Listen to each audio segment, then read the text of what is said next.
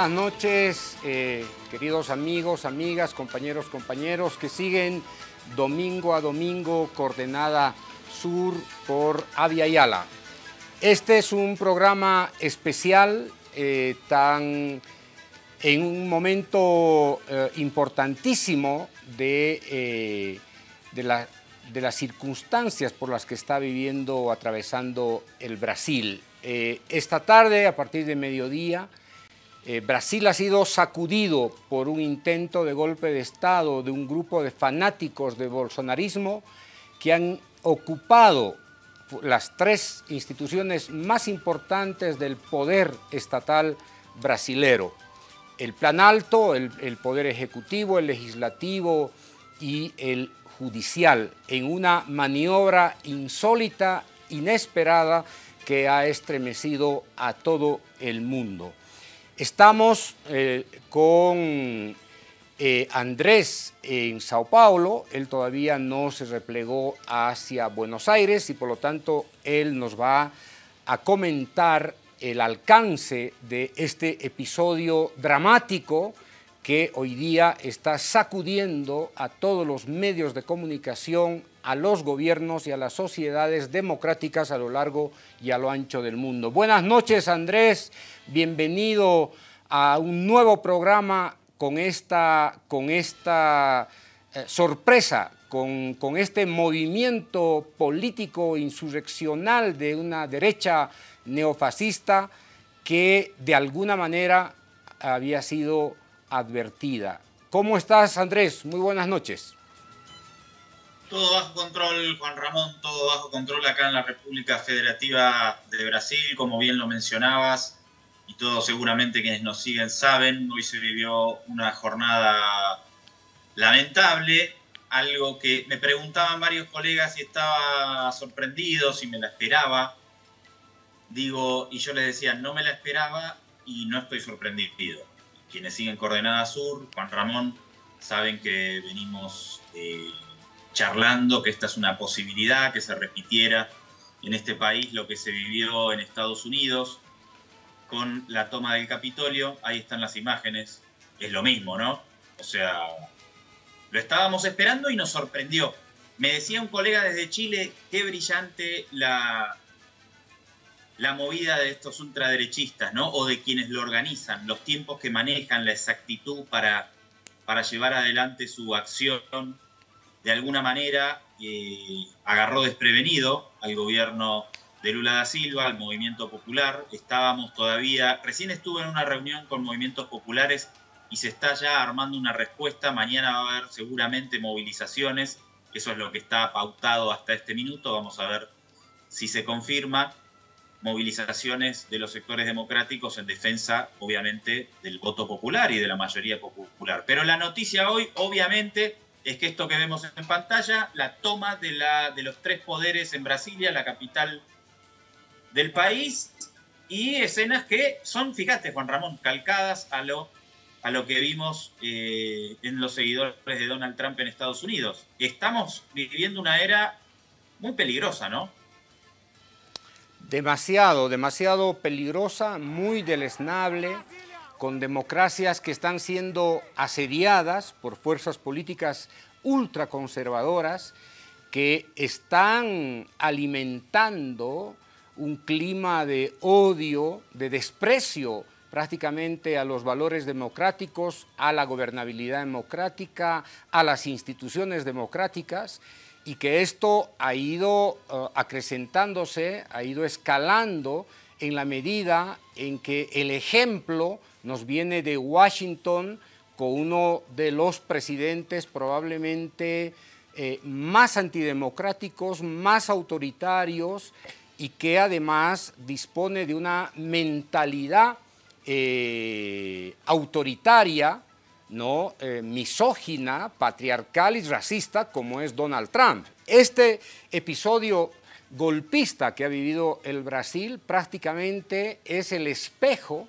del episodio golpista del asalto al Capitolio que vivió Estados Unidos hace un par de años. Y, parece que el ejemplo, el ejemplo tiende a extenderse. Sí, es, es algo que nosotros vemos tan claramente es un escenario que veníamos trabajando, pero que sin embargo no logramos evitar. Eh, yo quisiera que destinemos un rato a ver, a, explicar un poco este fenómeno, más allá de, que es lo mismo de lo de Trump. Siento que, no sé, ¿para quién hablamos, Juan Ramón? Eh, es como hay una racionalidad que está totalmente en jaque en, estos sectores de la población. No son pocos los que fueron a... No es que son, no sé, 400 locos, 1000 locos, son un montón de locos. Pero bueno, además, ¿cómo no, cómo no se previó esto? ¿no? Eso, bueno, es otro debate. Pero a ver, vamos a pedirle, yo le voy a pedir que pongamos la imagen 3 en pantalla, si podemos mantener las imágenes divididas nuestras, así vamos charlando con Juan Ramón. Eh, mira, mira, Juan Ramón, el Twitter de. Este es el Twitter de Bolsonaro. Y este es el cinismo. Yo la, semana pasada, y ahora quiero que la volvamos a ver, la declaración por la que yo llamé eh, a Bolsonaro un psicópata la semana pasada, porque es lo que es evidentemente lo que explica esto. Presidente de la República dice, no es que no haya tuitado, no es que eh, Bolsonaro esté deprimido y no tuiteó, ¿eh? se la pasa tuiteando y todavía mostrando los logros de su gobierno. Fíjense, presidente de la República Federativa de Brasil. Esta es parte de esta construcción demencial, Juan Ramón. Obviamente Bolsonaro es expresidente de la República Federativa de Brasil, no es el presidente de Brasil. Y no es una tontería esto en el mundo que, que vivimos. Cómo se presenta, cómo se está presentando Bolsonaro ante sus seguidores en Twitter. Porque les quiere hacer seguir creyendo que él sigue siendo el presidente de Brasil. Y esto es un problema gravísimo, Juan Ramón. Creo que ahí ya estoy viendo a uno de nuestros invitados en pantalla. Antes de saludarlo a Oliveiros, le mandamos un abrazo grande, pero vamos a repasar con él la declaración de la semana pasada de Jair Bolsonaro, porque, y hoy lo dijo Lula, cuando decretó eh, una intervención federal en Brasilia hasta el 31 de enero, obviamente responsabilizó a Bolsonaro y dijo que él era cómplice de esta situación porque ha estado instigando de manera sistemática eh, o con silencio o con declaraciones hechos como el que vimos hoy eh, o como el que estamos viviendo en la jornada de este domingo. Sí, vamos a ver la nota número uno y lo que hay que ver es cómo Bolsonaro eh, impulsa este tipo de prácticas. Ahí está, vamos a verlo.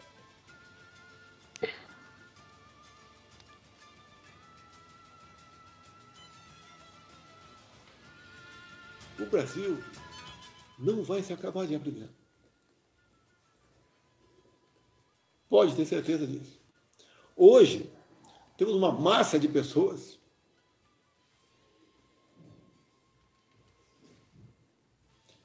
que passaram a entender melhor de política. O bem vai vencer.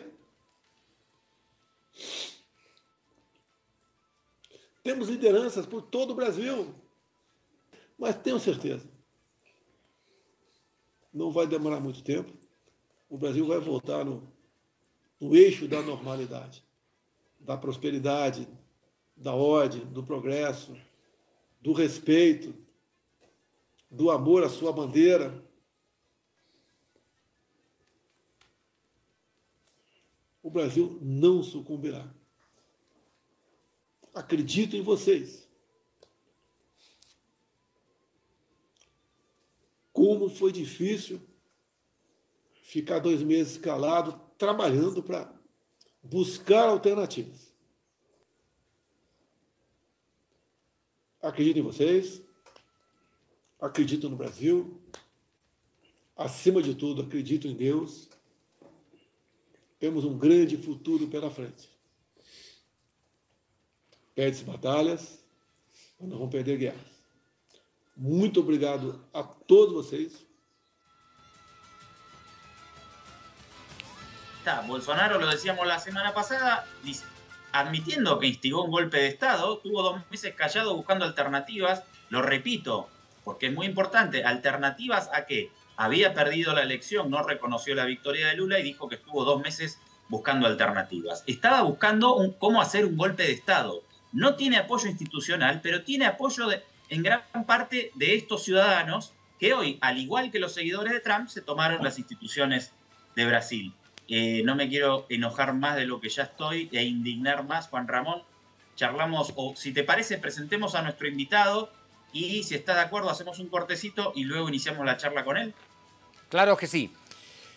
Eh, muchas gracias, muchas gracias Oliveiros. Oliveiros Márquez es un sociólogo brasilero, eh, pero además es experto en comunicación política y nos va a ayudar a entender, Andrés, qué es lo que está ocurriendo hoy mismo en el Brasil. ¿Qué es lo que ha ocurrido hoy, domingo, 8 de enero, justamente a siete días de que Lula da Silva tomó el gobierno en, eh, en, el Brasil. ¿Qué es lo que está ocurriendo ahora y qué es lo que ha ocurrido en los últimos años para que este escenario se precipite? Para eso Hablaremos entonces con Oliveros, a quien le agradecemos muchísimo por su tiempo en Coordenada Sur, un programa de análisis geopolítico alternativo.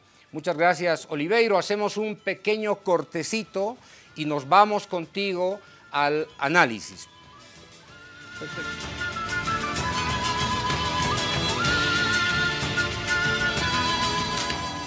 Estás viendo Avia Yala Televisión un continente de culturas.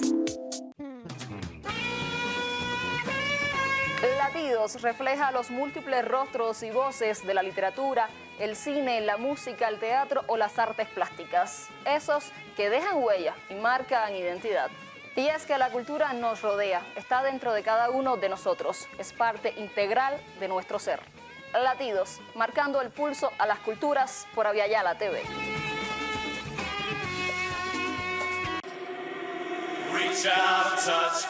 Un orgullo para toda la vida. Más que existir, transformar el mundo que habitamos. Finalmente somos quienes debíamos ser. Yo elijo vivir mi vida. Orgullosamente.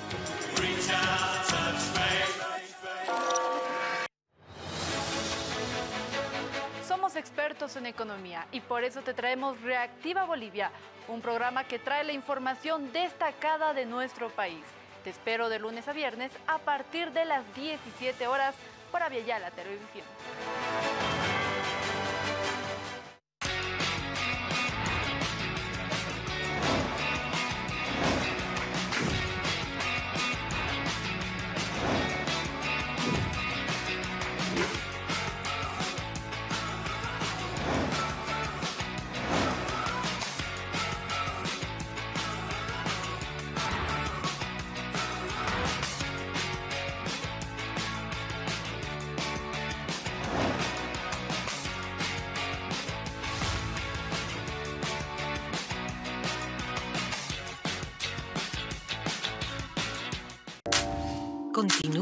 Viendo Avia Yala Televisión, un continente de culturas.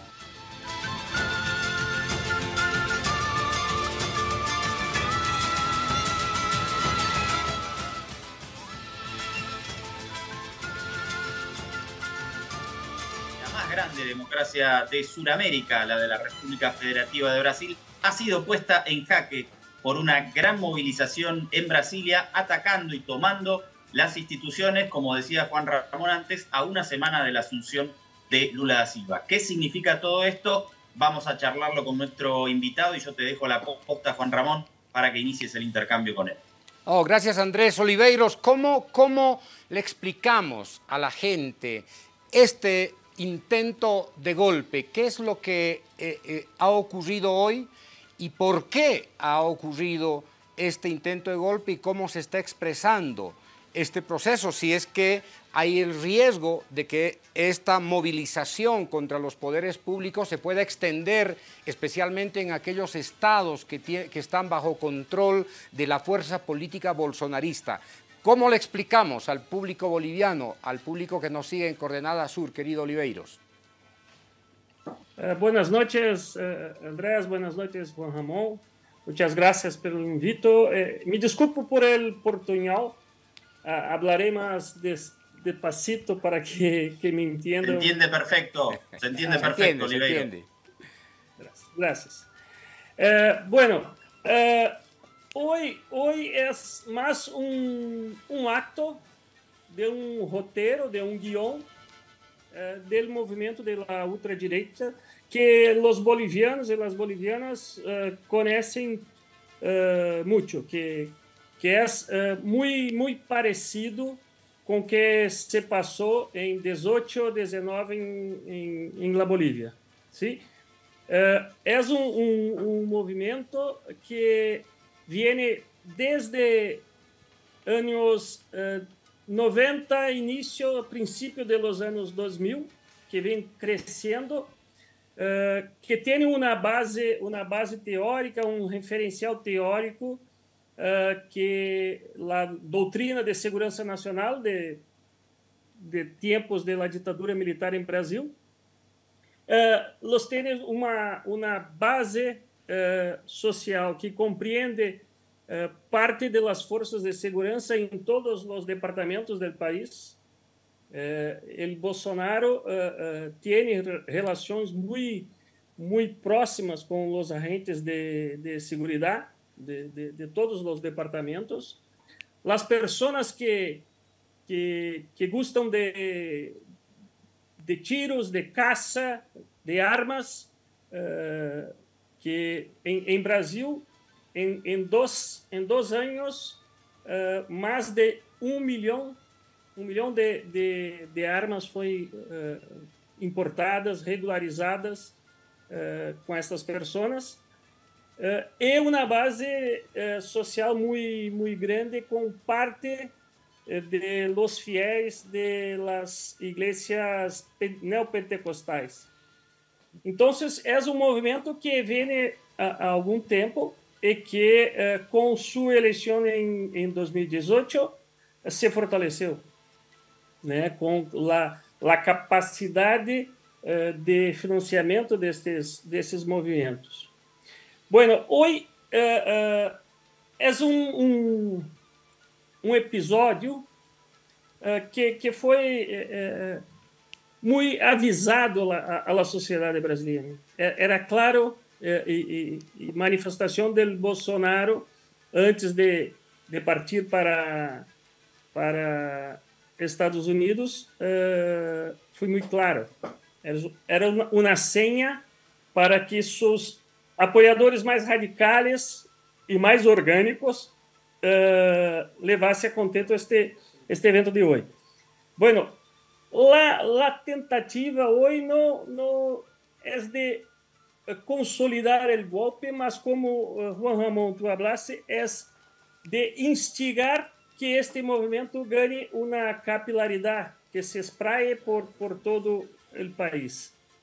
Eh, creo que eh, a, el movimiento del gobierno eh, brasileño, de, gobierno de Lula, eh, terá que romper com uma cultura, uma cultura eh, de Brasil, né? É, a, cultura política no Brasil é, trabalha muito com o príncipe ser amado, né? Creio que com esses episódios de hoje, o príncipe terá que ser temido. Então a força é, terá que ser utilizada e creio o ministro da Justiça, Flávio Dino, hablaba ainda há pouco em la, em, la tela que, eh, que prisões continuarão por as próximas horas. Hoje, a hora, perdão, a hora, uh, 200 pessoas já se encontram em cárcere, uh, e, e mais dezenas, se não centenas de pessoas deverão ser uh, também recorridas. Uh, los financiadores, isto é muito importante, los financiadores desses atos, 40, 40 ônibus, 40 uh, uh, ônibus, sim, sim. 40, sim, né? 40 ônibus que trouxeram as pessoas para Brasília, já foram identificados os seus financiadores, quem pagou para, para que as pessoas viessem para, para Brasília. Então, o movimento está sendo feito para abafar uh, uh, o movimento golpista. Mas nas próximas horas que, que, que vamos poder ter uma leitura mais, mais clara. Mas creio que não não há, não há uh, caldo em la sociedade brasileira para uh, que, que a maioria de, la sociedade uh, embarque em uma aventura golpista. Oliveiros, eh, veíamos hoy las imágenes de la jornada y muchos obviamente en esta era con los teléfonos registrando, mostrando sus rostros, no perciben el, el peligro jurídico que implica tomar el Capitolio, ingresar por la fuerza a uno, a los poderes públicos, no imaginan que después van a ser eh, punidos por la justicia, no, como que hay una falta de conciencia en, en, el accionar que llevan adelante. Porque además todo lo hacen con un discurso de defensa de la democracia. ¿Qué, qué, qué identificas ahí? Me parece un poco raro. Si yo, si yo iría a tomar un poder público, no me, no me grabaría con mi, con mi teléfono haciéndolo, ¿no? Sí, sí. Es, es de la cultura brasileira que es eh, la historia del príncipe. ¿sí? Entonces, uh, la, se cree mucho en la impunidad porque os agentes políticos não, não agem com, com firmeza? É muito diálogo, muita conversa, pero uh, no, muitas ações. Pero uh, el código, el código de processo penal brasileiro prevê que estas pessoas podem ficar de 4 a 12 anos em prisão, podendo ter mais anos até 20 anos por conta da depredação do patrimônio público e histórico do país. Lá, ele ministro, ele ministro da Justiça é um, um ex uh, juiz federal e ex-governador de um departamento. E, e, suas falas foram muito, muito claras. Os responsáveis serão devidamente punidos com toda a força da lei. E ele brasileiro tem muito de de, de, de, de la impunidade. Por isso, a atitude de construir eh, eh, contra si mesmo. ¿sí? No, nosotros, eh, eh en, el Brasil, surgiu um, um movimento eh, com um, um, um, site para as pessoas encaminharem identificação das pessoas que estavam em, em, em, ato terrorista. Então, se eu identifico alguma pessoa que eu conheço, para enviar esta, esta informação para auxiliar as investigações. Então, creio que hoje, e a frase do ministro da Justiça foi eh, muito forte. Disse ele que atos como estes nunca ocorreram em Brasil e seremos firmes em punir as pessoas que participaram dele para que nunca mais aconteça. Então, creio que haverá uma, uma mudança de, de comportamento das autoridades e mais firmeza uh, em, em punir estas pessoas que, inclusive, uh, terem, uh, nós temos imagens de, de parlamentares estaduais, de parlamentares de departamentos participando de atos, assessor, assessor do Ministério da Defesa também participando. Então, creio que, que que punición virá. Sí.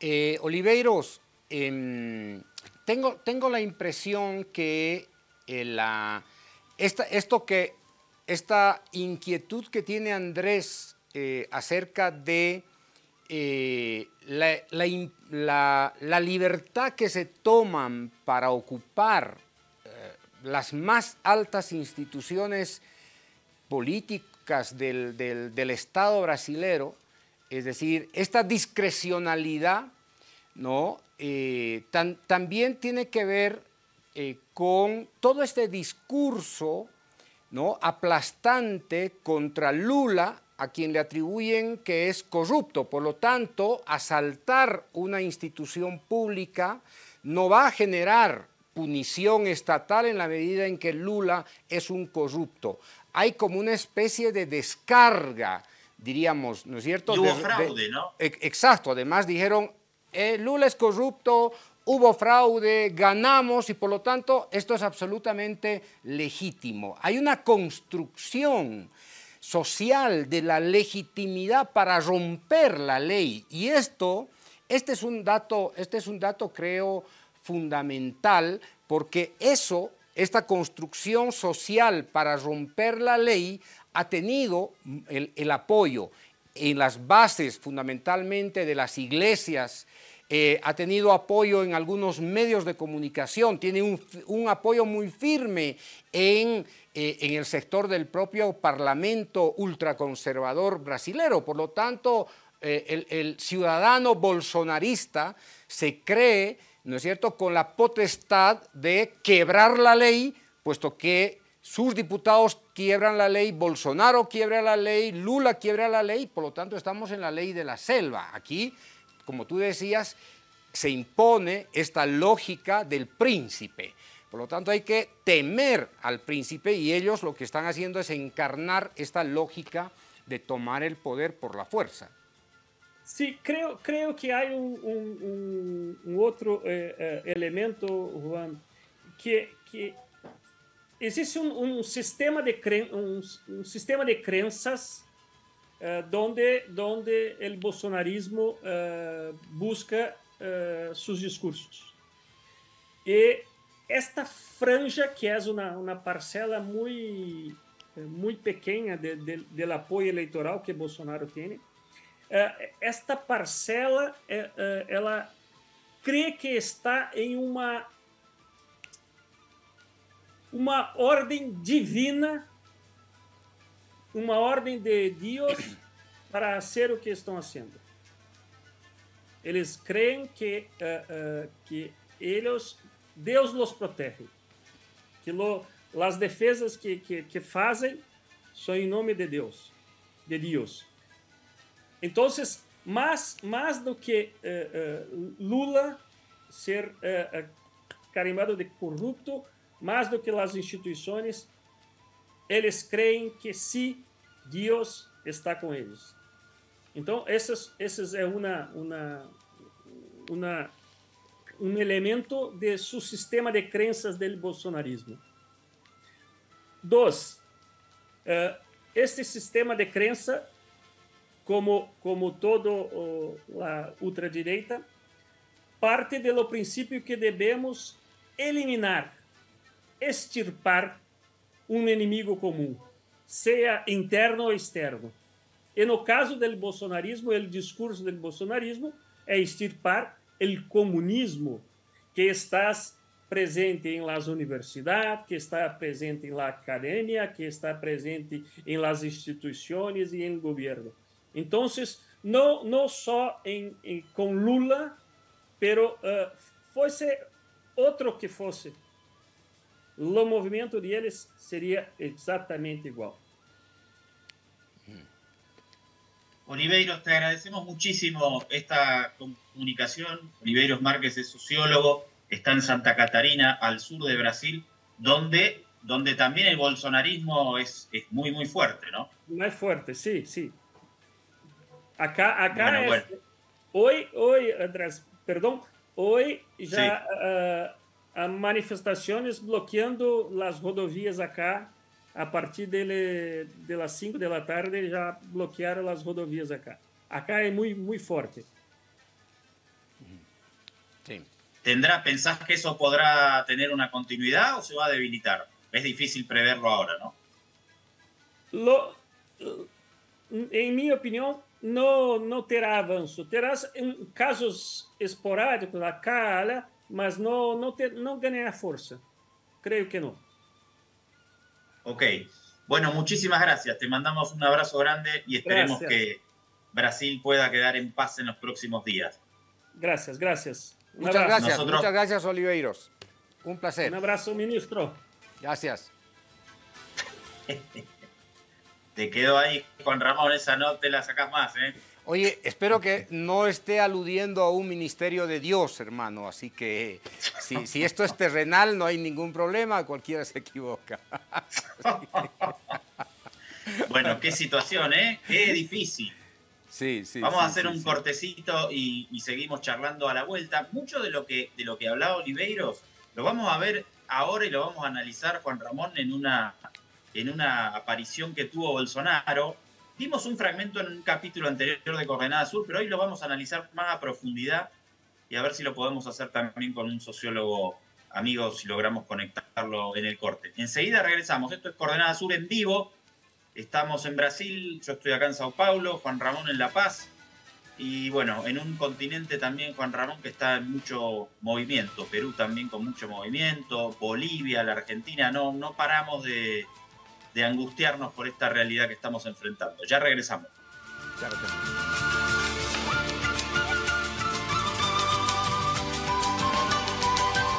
Estás viendo Avia Yala Televisión, un continente de culturas.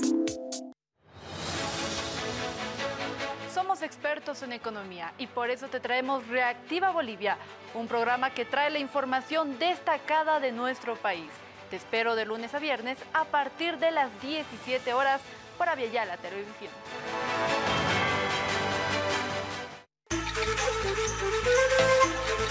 Hayaya, Hayaya, Bolivia, Collasuyu, Marcachirinaka, Sapa, Alwawa, Aymara, Ruta, Yetona Campi, Portani, Parakta, Utjauna, Camaro. Suma Lupiñataki, Suma Amuikiptañataki.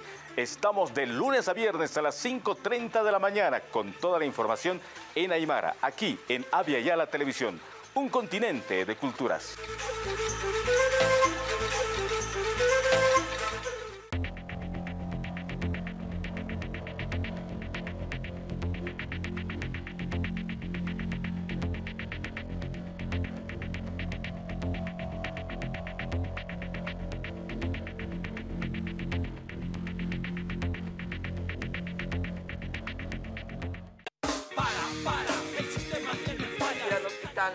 Está, Yo Leo. nunca te he visto en el paro de Santa Cruz. No es lo mismo el derecho que el privilegio. Hay que concretizar las responsabilidades. Porque... A disputar las elecciones 2025 es el señor Luis Arce Catacora y el señor Evo Morales. La oposición de acuerdo.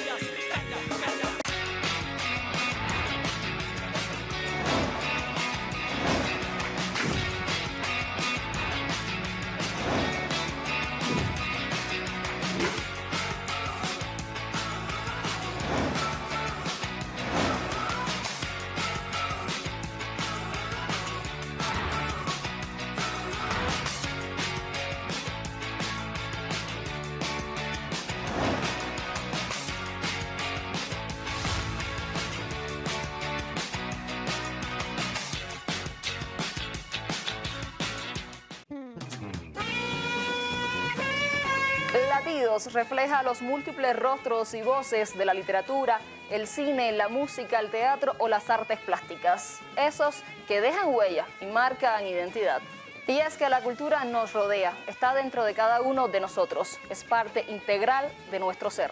Latidos, marcando el pulso a las culturas por Aviala TV.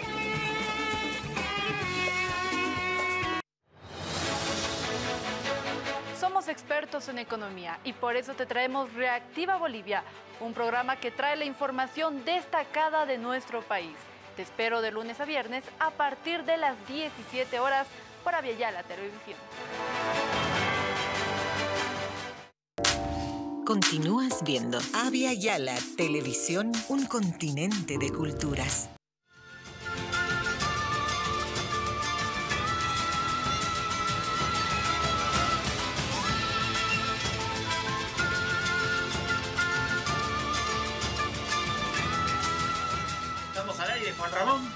Estamos al aire, Andrés, vamos. Vámonos entonces. Eh, saludamos ya mismo a André Takahashi, también colega tuyo, sociólogo, está aquí en la ciudad de Sao Paulo. Taka, un abrazo, gracias por acompañarnos estos minutos. ¿Cómo estás? Hola Andrés, bien, gracias por la invitación. Estamos con... Taka, una cosa, quería, queríamos analizar contigo unas imágenes para explicar un poco cómo se construye este bolsonarismo y algo que nos comentaba Oliveiros en el bloque anterior desde Santa Catarina, el vínculo con la religión, esta cuestión de que los bolsonaristas sienten que están llevando adelante una misión divina. Ahora vamos a analizar unas imágenes que tienen que ver con esto. y lo vamos a hacer entre los tres. Pero primero, una valoración muy cortita te pedimos de, lo que significa la jornada de hoy. ¿Qué, qué pensás? Si bien estamos en, un, estamos en pleno desarrollo, como diría nuestro colega Walter Martínez, pero ¿qué, qué pensás que, que vivió hoy Brasil, muy brevemente? Después ampliamos. Bueno, eh, muchas gracias por la invitación para hablar respecto de la coyuntura. Eh, yo veo que ahora estamos empezando un nuevo ciclo de, de, de lucha política acá en Brasil, donde el bolsonarismo eh, va a estrenar como una oposición extremista, por lo visto, ¿no?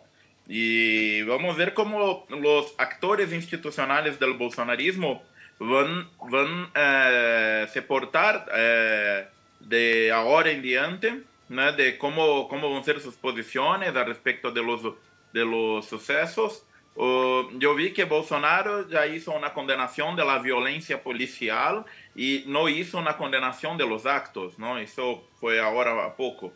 Entonces... ¿En Twitter, Taca? Creo que sí, creo que en Twitter. Ah, eso es, una, eso es importante analizarlo. Sí, bueno, condenó la violencia policial y no los actos, no la destrucción.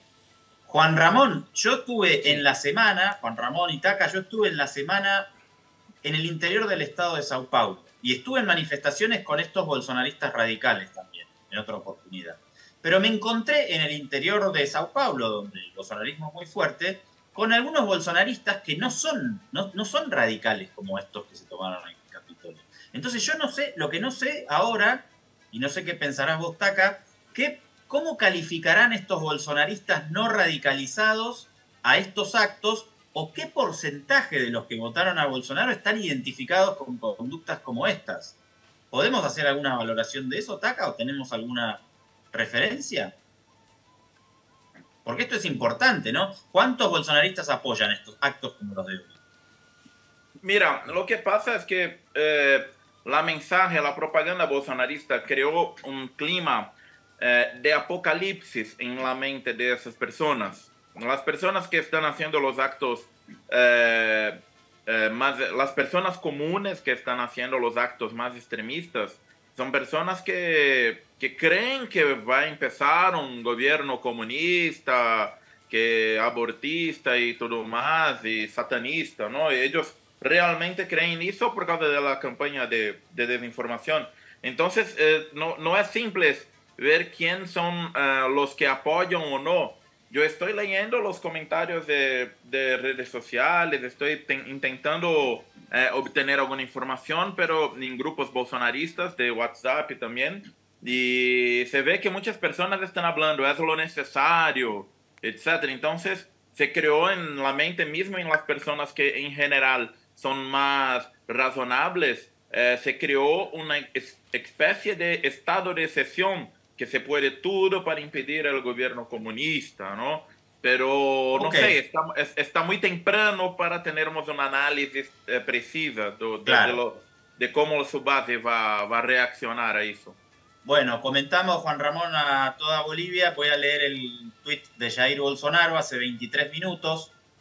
Manifestaciones pacíficas en la forma de la ley o dentro de la ley hacen parte de la democracia pero eh, depredaciones e invasiones de predios públicos como ocurridos en el día de hoy, así como los practicados por la izquierda entre 2013 y, 2000, entre 2013 y 2017, salen de, la red, de las reglas. Y dice también, a lo largo de mi mandato siempre estuve dentro de las cuatro líneas de la Constitución, respetando y defendiendo las leyes, la democracia, la transparencia y nuestra sagrada libertad. Bueno, todo esto es una farsa, es mentira y es una declaración cínica. Perdónenme que lo diga así.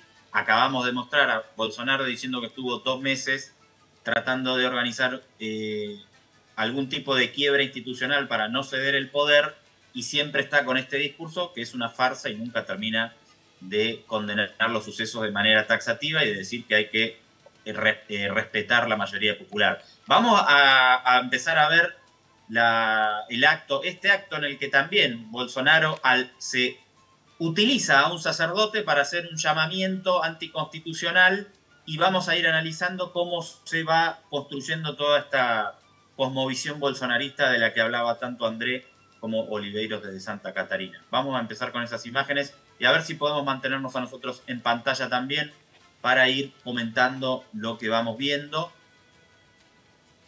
Esto sucedió un par de semanas antes de que Bolsonaro abandone el país con rumbo a los Estados Unidos. Como les comentaba, ahí lo vemos, esto es en el Palacio Alborada, el, palacio donde vive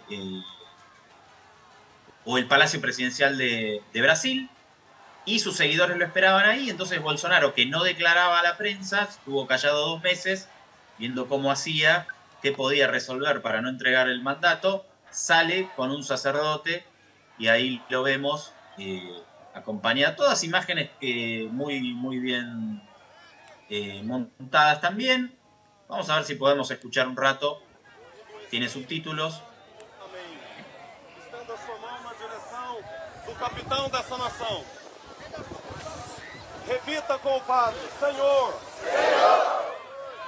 Agradecemos. Nós agradecemos. O dom de Deus. O dom de Deus. Que é o presidente. Que é o presidente. Bolsonaro. Bolsonaro. Obrigado. Obrigado. Pela sua vida. Pela sua vida. A vida. A vida. Da família. Da família. A vida de militar. A vida de militar. A vida de político. A vida de político. Senhor.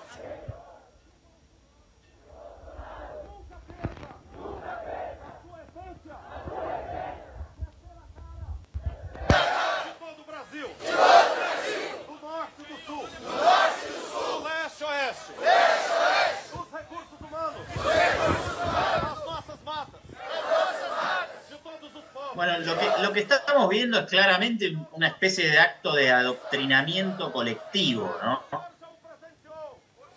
Llama la atención porque no es, no es normal ver en América Latina, Juan Ramón, eh, actos políticos de este calibre, ¿no? No es normal lo que... Se normaliza muchas cosas que están sucediendo en nuestro continente, eh, pero esto es bastante particular.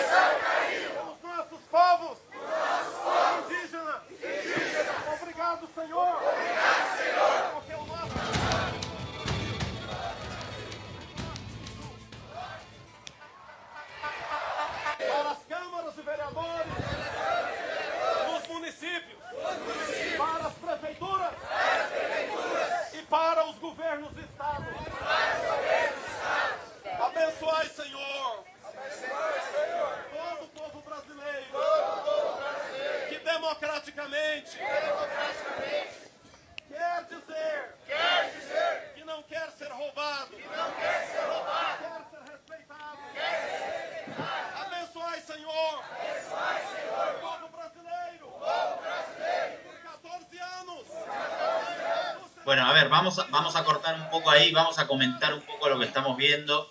Es un acto, como yo mencionaba, de adoctrinamiento impresionante. ¿Cómo, qué, valoración, ¿Qué valoración haces eh, desde La Paz, Juan Ramón, de, imágenes como estas?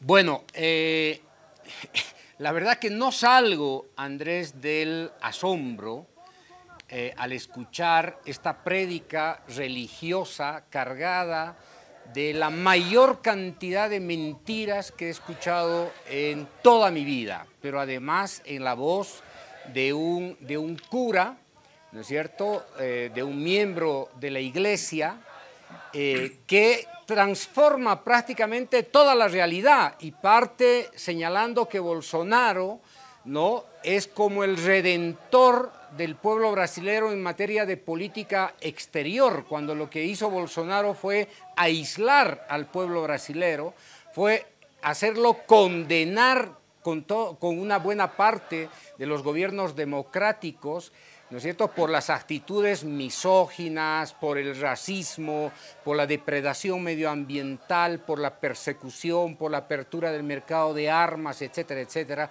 por su indolencia ante, eh, ante la muerte masiva por eh, el coronavirus, etcétera, etcétera. Es decir, nunca hemos tenido un, un cura, ¿no es cierto?, un representante de la iglesia, me imagino que es de la iglesia católica, diciendo tantas mentiras en tan poco tiempo a tan, tanta cantidad de gente, señalando que Bolsonaro más o menos es como el padre redentor de los pueblos indígenas, porque lo que, lo que Bolsonaro perseguía era desaparecerlos para quedarse para ceder las tierras a, la gran empresa del agronegocio, ¿no? Eh, el, cura le dice a la gente que eh, Bolsonaro más o menos es el protector, el enviado de Dios para proteger a los pueblos indígenas, cuando en realidad lo que quiso, era destruirlos, ¿no es cierto? Pero además el, acto en sí, la imagen en sí misma, eh, Taca, André, es, eh, a ver, Brasil es un estado laico, no es normal que veamos un acto político así, a donde además el, el sacerdote no dice, bueno, una bendición para nuestro presidente, no, dice una bendición para nuestro presidente que subió cuatro puntos el PBI, o sea, es, es una cosa muy extraña. ¿Cómo, cómo ¿Por qué sucede esto en Brasil, Taca? O, no sé. Bueno, eh, acá en Brasil las bases sociales del bolsonarismo eh, se asentan en esos sectores más conservadores que eh, en el campo cultural tenemos los sectores religiosos, ¿no? Entonces, eh, además que Bolsonaro tenga una preferencia de los, de los eh, evangélicos, los católicos también tienen alas más sectarias, más conservadoras y reaccionarias que lo, lo apoyan. Entonces, Pero perdón, perdón, pero yo no, no he visto, no tengo recuerdo de haber visto a otro presidente latinoamericano, yo insisto con la imagen, en un tipo de acto como este. No, es eso que estoy hablando, porque eh, hay una mezcla del proyecto político de Bolsonaro con un tipo de extremismo religioso, ¿no? Quase un, un plan neoteocrático de, de fusionar la, la, política del Estado con principios religiosos eh, distorsionados, ¿no? No principios religiosos exactos, pero esos principios distorsionados por falsos curias, falsos profetas, falsos pastores.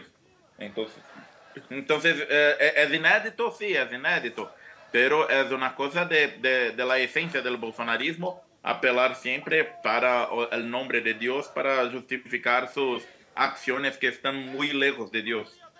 En el último minuto, vamos a ver si nos podemos centrar en el último minuto, directamente el sacerdote hace un llamado a que esos seguidores desconozcan y a que los militares desconozcan al gobierno de Lula da Silva. Vamos a ver, creo que es el último minuto y medio, a ver si lo podemos ver ahí, porque ya es una declaración abiertamente golpista y con el presidente Bolsonaro al lado, obviamente legitimando ese discurso. A ver si lo podemos ver.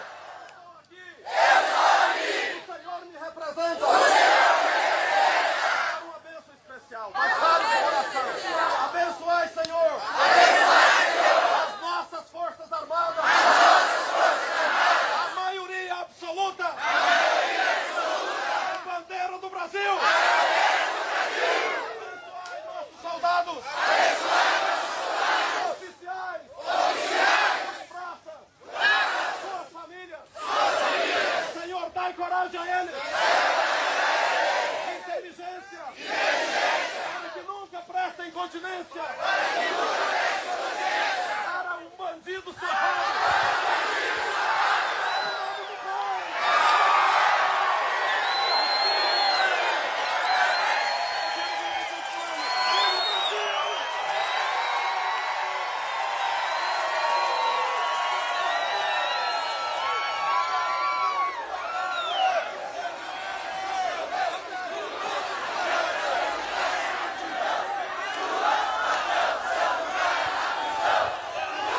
Hola, Andrés.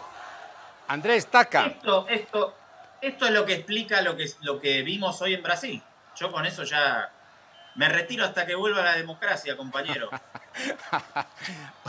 Andrés, yo creo que ni en el, ni en el sueño eh, más, eh, en el, ni en el mejor de los sueños, creo que Bolsonaro podría dar un discurso de la dimensión que acaba de dar el cura frente a los feligreses. Yo me temo que las limitaciones, las propias limitaciones mentales de, Bolsonaro harían imposible un discurso parecido al que, eh, eh, al que dio el cura dos semanas antes de las elecciones. Ese es un primer dato.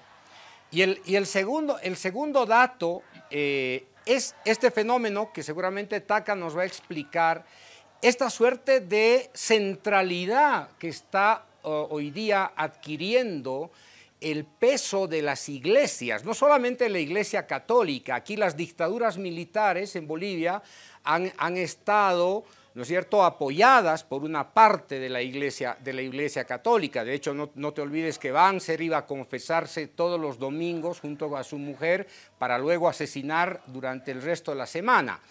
Pero también hemos visto en el golpe de Estado del 2019 la irrupción de la, de, de, de, del de la, de la, iglesia a través de la Biblia, la, incorporación al palacio, etcétera, etcétera. Había una disputa quién se quedaba con la bendición de Dios entre, entre, eh, entre Luis Fernando Camacho, entre Áñez y el exministro de Defensa. Este, este sobredimensionamiento, ¿acaso no se da sobre una sociedad que está viviendo una enorme incertidumbre, que está cada vez más vaciándose de cierta, de, de, cierta certidumbre institucional, democrática, cultural, etcétera, etcétera. Es decir, Taca, ¿a qué obedece que en el, particularmente en el Brasil el bolsonarismo tenga como centro de gravedad, ¿no es cierto?, el peso de la iglesia?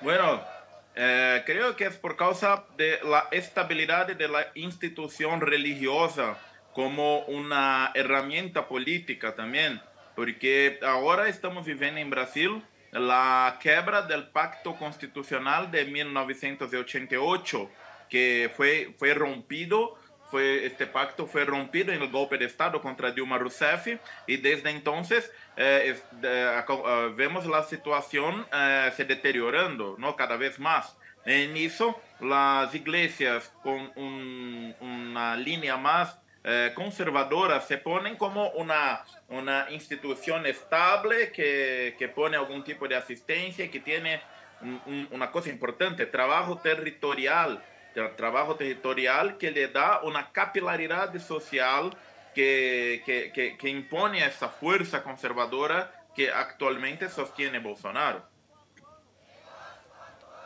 Taca, un abrazo grande, nos quedamos sin tiempo. Eh, muchísimas gracias. Esto que dijo Taca Juan Ramón creo que es fundamental. Cuando llegábamos a Brasilia la semana pasada, vimos el día 30 de 31 de diciembre.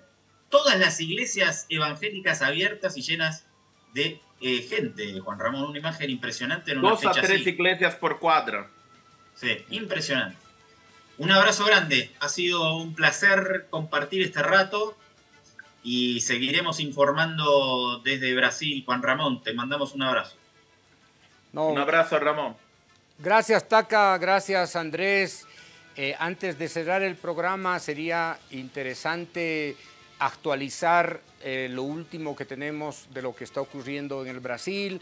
frente a este, esta ocupación de las tres instituciones más importantes del, del poder público brasilero, como es la Asamblea Legislativa, el Parlamento, el Tribunal Supremo de Justicia y se puede decir eh, la Casa Grande del pueblo en el Brasil, después de que fueron ocupadas, inmediatamente el presidente Lula da Silva, que se encontraba en una población afectada por los desastres naturales, emitió un decreto para promover la intervención del, del, Distrito Federal en materia de seguridad, lo que ha permitido una reacción inmediata tanto de fuerzas policiales como del ejército para retomar el control. Por los últimos datos que nos señalan, el control eh, de la situación está siendo retomado gradualmente y se están haciendo operaciones paralelas de inteligencia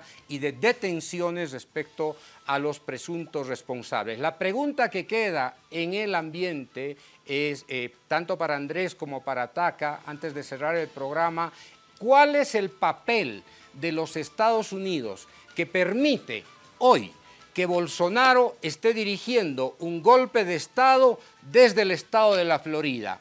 ¿Qué, ¿Qué es lo que dice el presidente Biden? ¿Qué es lo que dice el secretario de Estado? ¿Va a, permitir que Bolsonaro desde los Estados Unidos esté promoviendo este golpe de Estado?